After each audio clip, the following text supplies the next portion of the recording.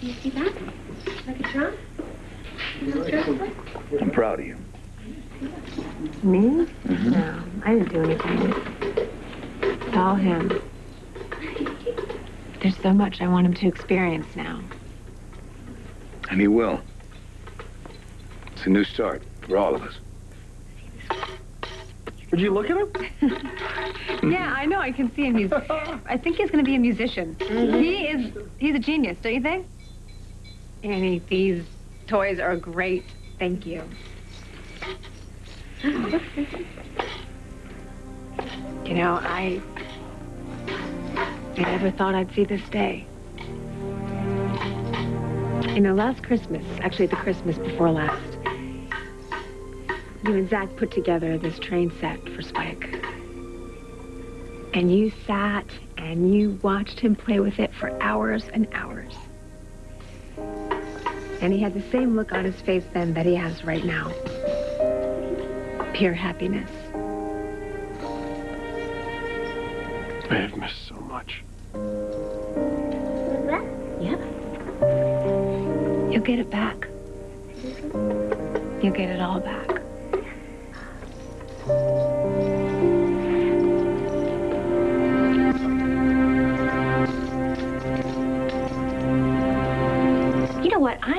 Going to take this extra supply of Campbell's Healthy Request from the fashion show into the lounge if anybody gets hungry. Chicken. Yes, actually, it is. Ah. You know what? You can handle it, girlfriend. You can handle anything. I won't even ask. Thanks. So, do you always walk around with a picnic basket, or is that some sort of secret special ops thing? I just thought I'd treat you to lunch. Really? Yeah. I love lunch. Do you want to go up on the rooftop and see if it's still there? Yeah, let's do it. Lead the way.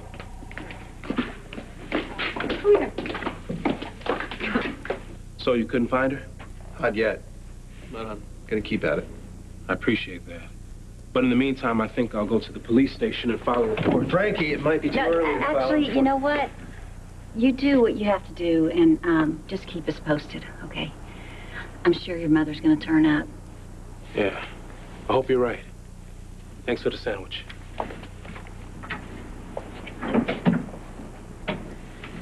You're very smart. Yeah.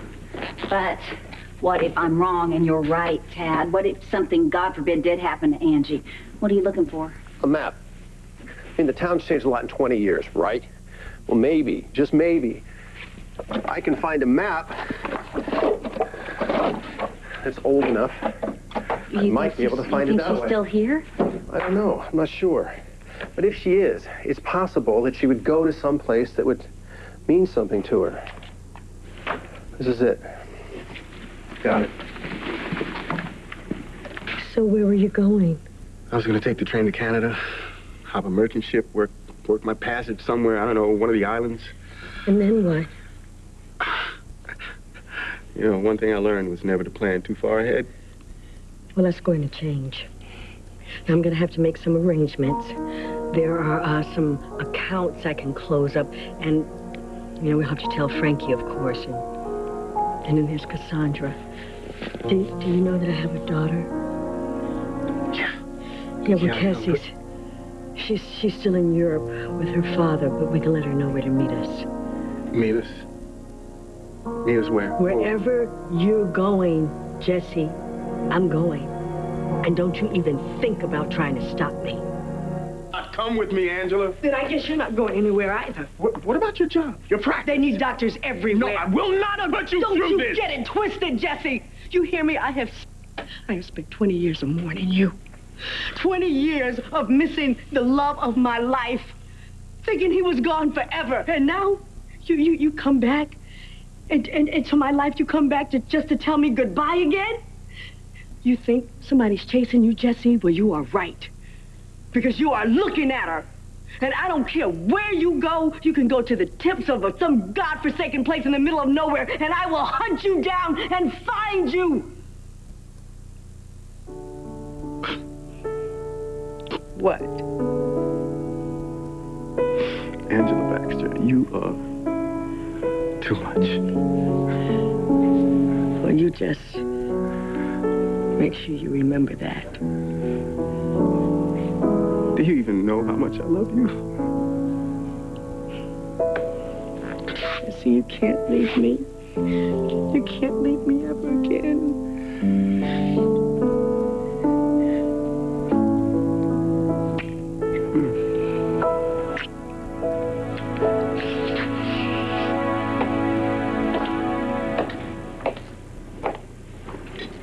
You okay? Yeah. Any We need to talk about Emma. She's going to start asking questions soon. Okay. Um. You know, wh- whatever you want me to do.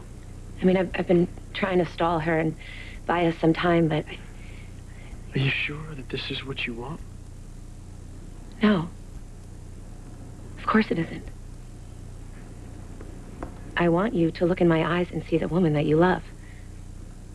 And see the woman that you married and see the woman who loves you more than anything. But since I can't be her right now, I'm trying to remember. I know, I know. And I'm not blaming you. I mean, this must be a nightmare for you right now, but I have to protect myself, Ryan, and I have to protect our daughter. I totally understand. So, uh, we'll find a time to talk to Emma. Good.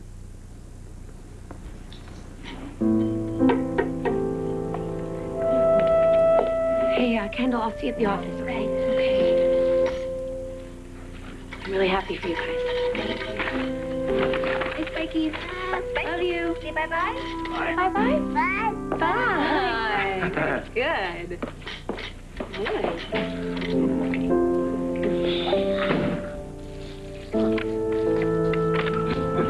you thought of everything. Yeah, I know. I love picnics.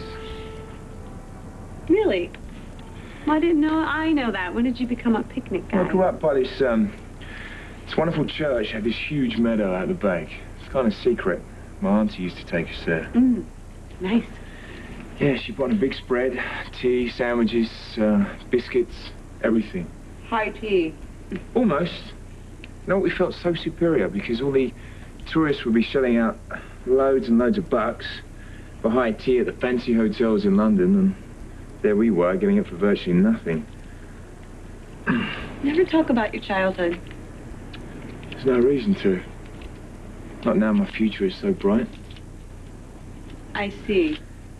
So, pre-Greenlee, not worth talking about? Exactly. You think I'm kidding?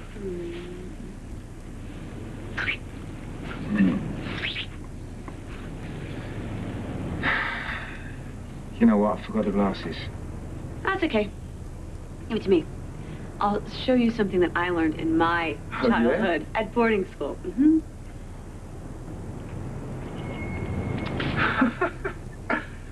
it's a skill.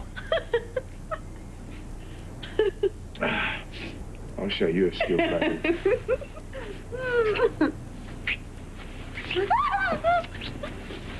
Ah. Greenlee, the police are on the phone. They want to talk to you. Me? Yeah, they wouldn't tell me why. Go on. You might as well go get it. What the hell is going on?